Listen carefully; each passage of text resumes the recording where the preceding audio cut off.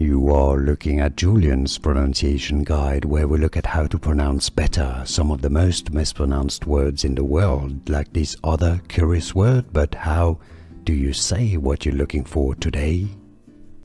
Let's learn how to pronounce this word if you want to learn more confusing vocabulary in English. Make sure to stay tuned. This one is a bit confusing, but it's easy once you know. Let's break down the pronunciation in English. Monocotyledonae or monocotyledonae. Monocotyledonae or easy monocotyledonae.